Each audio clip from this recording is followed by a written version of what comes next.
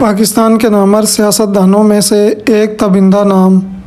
इस्लाम पसंद बावकार, बाइज़्ज़त शख्सियत, अमीर जमात इस्लामी सिराजुल हक खान हैं। आप 5 सितंबर उन्नीस सौ बासठ को खैबर पख्तूनख्वा के ज़िला लाहौर दीर में पैदा हुए। कुछ जगह पर आपकी तारीख़ पैदाइश 5 अप्रैल उन्नीस सौ पैंसठ पामकाम ज़िला चार सदा लिखी गई है।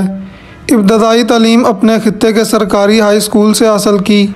आठवीं जमात में इस्लामी जमीयत तलबा में शमूलियत अख्तियार की और आपकी कायदाना सलाहियतों और फ़र्ज़ शनासी की वजह से आपको कुछ अरसे बाद ही नाज़म आला मंतखब किया गया। पंजाब यूनिवर्सिटी से एम एजुकेशन किया तालीम मुकम्मल की आपकी शख्सियत का नुमाया पहलू सादा मिजाजी और इंसान दोस्ती है। आप पाकिस्तान में इस्लामी शरीयत की बुनियाद पर इस्लामी निज़ाम नाफज करना चाहते हैं। आप सूद के मुखालफ हैं और यही वजह है आप पहले पाकिस्तानी सेनेटर और सूबाई असम्बली के रुकन हैं जिनका किसी भी बैंक में अकाउंट नहीं है। सिराजुल हक साहब उर्दू, पश्तो, अंग्रेज़ी और दीगर ज़ुबानों पर अबूर रखते हैं, मगर इजहार ख्याल के लिए उर्दू और पश्तो का ही इंतखब करते हैं। आप इस्लामी जमीयत तलबा के बाद जमात इस्लामी पाकिस्तान के रुकन मंतखब हुए और मेहनत और जफाकशी से काम किया और पचपन के पी के हल्का से पहली बार सूबाई असम्बली के रुकन मंतखब हुए। 2003 में जमात इस्लामी खैबर पख्तूनख्वा के अमीर मुकर हुए। अप्रैल 2009 में सबक अमीर जमात इस्लामी पाकिस्तान सैयद मुनवर हसन ने मरकज़ी नायब अमीर मुकर किया। और मार्च 2014 में आपको मीर जमात इस्लामी पाकिस्तान मंतखब किया गया। और अब दोबारा सब अरकान ने आपका इंतखब किया। 2013 के इंतबात में जब खैबर पख्तूनख्वा में पाकिस्तान तहरीक इंसाफ और जमात इस्लामी पाकिस्तान की मखलूत हकूमत कायम हुई, उस वक्त आपको सीनियर वज़ीर और वज़ी ख़जाना मुकर किया गया।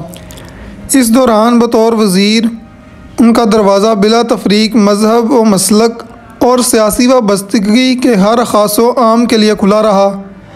आपने सिविल सेक्रेटरीट में खुतबा भी दिया और नमाज़ों की अमामत भी की।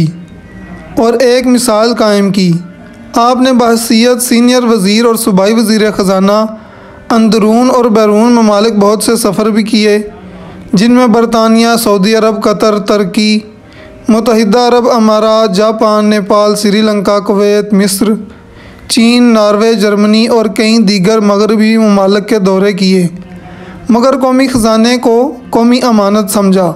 बगैर किसी प्रोटोकॉल के पब्लिक ट्रांसपोर्ट का इंतखब करते और रहाइश गाह के लिए होटलों के बेतहाशा सरकारी अखराज छोड़कर इस्लामी सेनेटर्स में रहना पसंद करते। मगर सादिक अमीन के कहलाए, बतौर वज़ीर जो उन्हें सरकारी रहाशगाह मिली, उसे पब्लिक सेक्रेटरीट बना दिया। जहाँ आधी रात को भी लोग आते जाते रहते। अपने एक ख़ानदानी घर के अलावा उनका कोई और घर नहीं, और ना इनके पास कोई ज़ाती गाड़ी है। किसी भी मुल्क की तारीख उठाकर देख लें, ऐसा लीडर कहीं नज़र नहीं आएगा। सादगी, पसंद, तबीयत के मालक, मुतवसत, तबका से तल्लक रखने वाले सिराजुल हक ने नज़रियाती सियासत पर अपनी ज़िंदगी बसर की। सिराजुल हक वो वाद पाकिस्तानी सियासतदान हैं जिनको सबक चीफ जस्टिस ने सादक अमीन कहा, आपकी छोटी साहबजादी फ़ातिमा ने जब आपका इंटरव्यू किया, इसमें कुछ दिलचस्प सवाल किए और पूछा कि आपको इस दुनिया में सबसे अच्छी चीज़ कौन सी लगती है, आपने जवाब दिया, सबसे अच्छा हमारा दीन है, जिसने हमें शूर दिया है, जिसकी वजह से हम अल्लाह को जानते हैं और जो दुनिया और आखरत में हमारी कामयाबी का ज़रिया है। और जब टेढ़ी टोपी की हकीकत पूछी तो आपने कहा, मैं जब पाँचवीं क्लास में था तो एक रोज़ वहाँ बर्फ़बारी हुई थी। मुझे स्कूल जाना था, लेकिन मेरी चप्पल नहीं थी।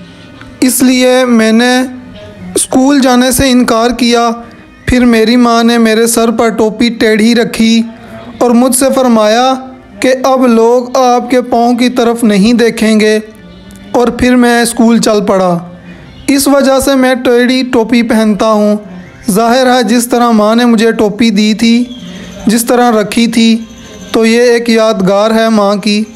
सिराजुल हक साहब यकीनन एक अहद साज शख्सियत हैं, जिन्होंने ज़ुबानी नहीं, अमली काम किया। हमेशा आपने पैसे की बजाय इंसानियत की खिदमत को तरजीह दी। मुझे उम्मीद है, ये उभरता सितारा हमेशा सियासत के मैदान में भी एक मिसाल बनेगा।